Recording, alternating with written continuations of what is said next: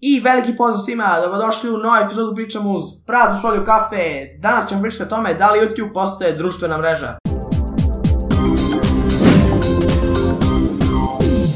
Zašto pravim ovaj video? Jednostavno ga pravim zato što je YouTube izbacio chat. Da.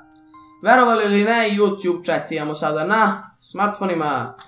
Zašto? Zato što je YouTube to hteo i verovali ili ne, on je to izbacio još pre godinu i nešto dana nekim korisnicima i kao njima je to dobro prošlo, sad su oni to ubacili.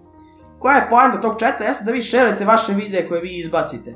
E sad, pa sad gde je ta poenta tome, ja stvarno ne znam, pošto ko će koristiti YouTube chat, a ne Facebook. Još nešto što me užasno nervira jeste što vam stižu obaveštenja na telefonu. Rački u jednom trenutku invajtovao to veče kad je to izašlo sve svoje Facebook prijatelje i meni je u jednom trenutku stiglo 30 notifikacija u isto vreme. Bukvalno telefon mi je zabagovao od toga koliko je ljudi u isto vreme kliknulo da se pridruži tom YouTube chatu. Ok, sve je to super, ali e, stiže vam obaveštenje kao za običnu poruku. Stoji vam YouTube ikonica.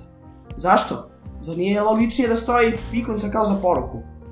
Ok, to je nešto mizarno, ali opet, kako ćete znati šta vam je stiglo, nego morate da vrtite drover dole i onda da tražite to 100 godina. Čemu uopšte YouTube chat? Postoji Messenger koji zaista savršeno radi, imamo mail, imamo uh, direct message na Instagramu. Ja mislim da vi iz mojih videa shvatite da sam ja hater nečega.